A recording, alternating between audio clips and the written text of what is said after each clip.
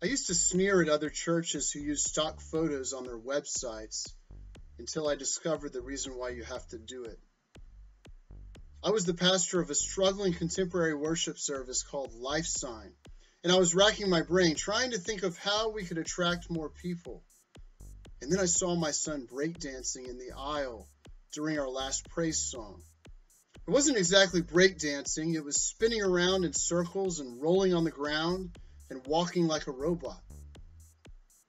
And as the next couple of weeks went by, other kids started to join him, and they added their own dance moves. And I thought, this is it. This is the key to our marketing success. If I can only capture an image of what they're doing and put it on the internet, it will viralize, and all the young families of Fairfax County, Virginia will know that we have the perfect kid friendly worship service.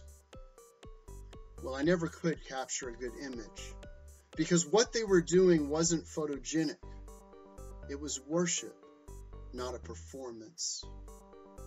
Jesus said if we want to receive the kingdom of heaven, we have to receive it like children. And I think this is because children know how to worship, even if they don't know that's what they're doing.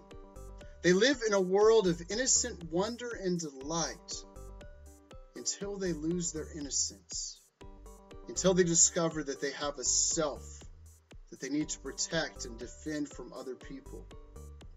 Then they enter into the world of performance, of image management, platform building, and brand development. And there's no space in which performance is more competitive than in religion. This is not a new thing. Jesus called it out in his day when he accused the religious leaders of his time of being performers. He warned the crowds about them, saying, Don't be like the performers who screw up their faces when they're fasting to let everybody know what a big sacrifice they're making. Don't be like the performers who announce it with trumpets whenever they give money to the poor so they can get a big round of applause. Don't be like the performers who always pray in public loudly and on street corners so that everyone can know how close they are to God. Jesus said all of these performers have received their reward in full. But I want you to do what you do religiously in secret so that your God can reward you in secret.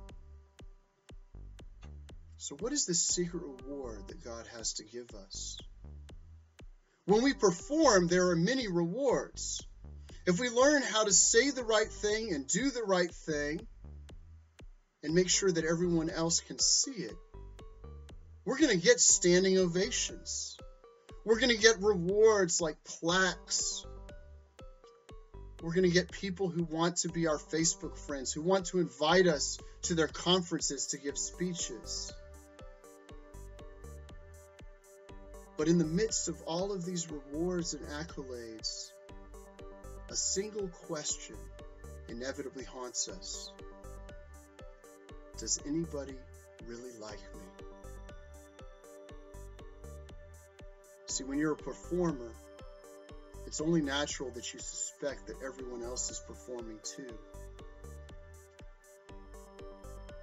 Which means that their flattery might be strategic.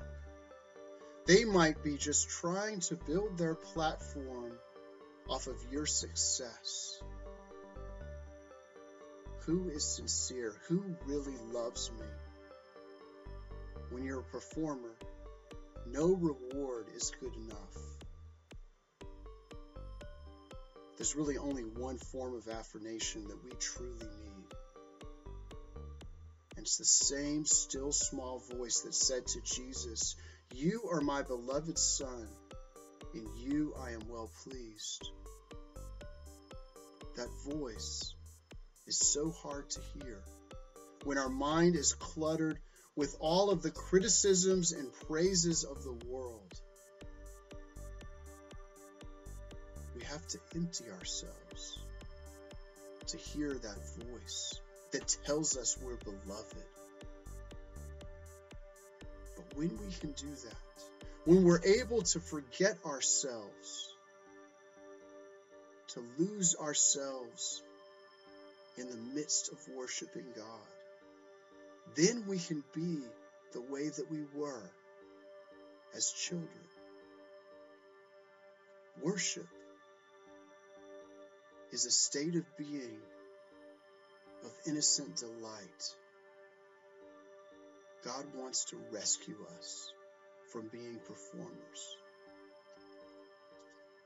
Are you ready to worship Him and accept His invitation?